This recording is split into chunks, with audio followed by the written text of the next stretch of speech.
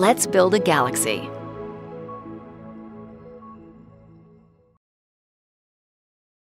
We live on a planet in a single solar system inside a large galaxy made up of 100 billion stars. A supermassive black hole equal to the weight of a few million suns anchors the center of our galaxy. Our universe has hundreds of billions of galaxies, each containing stars like our sun.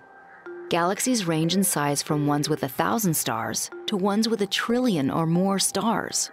That means we have a lot of places to explore.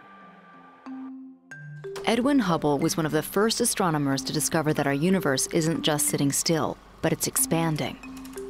Hubble also grouped galaxies by how they looked, because not all galaxies are the same. He described a few distinct types.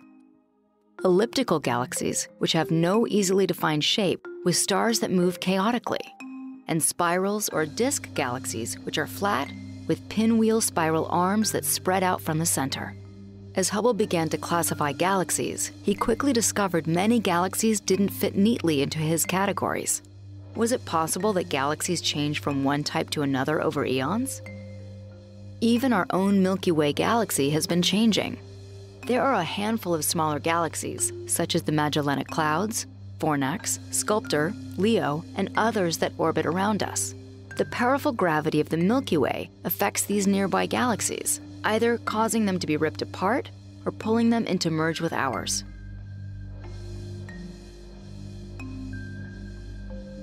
Astronomers can tell if a star has invaded from one of these nearby galaxies if it lacks certain elements that are formed by many generations of star birth and star death within the Milky Way itself. The Milky Way has been a star factory for about 10 billion years. Generations of stars have fused hydrogen and helium gas to heavier elements such as metals within their cores and then spewed these metals out into the galaxy. This process enriches the gas and promotes the future generations of stars, like our own sun. Many of the stars in the galaxies around ours do not have the heavier elements in such abundance because of their different history so we can tell which stars originated in the Milky Way and which ones joined our galaxy later.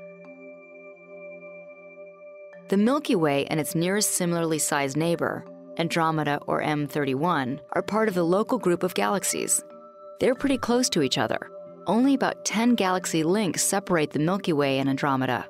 And when they collide in 4 billion years, it will be spectacular we can simulate the collision of the Milky Way and Andromeda galaxies and predict that it should lead to a great deal of new stars and a whole lot of galactic chaos. Eventually, the two galaxies will merge into a single galaxy, which will settle down into a larger Milkdromeda galaxy. But don't worry, the stars within the galaxies won't collide. Galaxies are made up of mostly empty space, and the stars within them are very spread out, but the gas that surrounds the stars and forms them will collide spectacularly. Many galaxies are in the middle of a collision today. These type of galaxies are the ones that would not have fit into Edwin Hubble's categories. Irregularly shaped spirals, merging and distorting arms winding in strangely beautiful shapes. The exquisite detail of these types of collisions can be studied in a new light with NASA's James Webb Space Telescope. See those blue galaxies in this picture taken by the Hubble Space Telescope?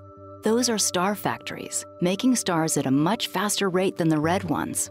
Webb can track the production of the heavier stellar elements in ways that no previous telescope could. Webb's infrared eyes can see through the dust in the galaxies to more clearly study the formation of new stars. While stars within the galaxies are spread out, the galaxies themselves tend to clump in nodes where gravity draws matter together. Galaxies are connected to each other by web like strands of gas and dark matter. Galaxies most often form where the dark matter strands intersect. This cosmic web is the scaffolding that supports galaxy formation. Dark matter is five times more abundant than visible matter in the universe. Astronomers have simulated the spiderweb of dark matter by using the visible distribution of galaxies today but Webb will allow us to see farther into the distant past, to galaxies just after they were first born. During this earlier time, the universe was hotter and denser, and many more stars formed in the early generations of galaxies. We're already late to the party. the best time for making stars was about 10 billion years ago. With Webb, we can look back to the early days of galaxies and stars and follow the trail of clues to understand the formation of these heavy elements carbon, oxygen, nitrogen, silicon, and others that make life possible today.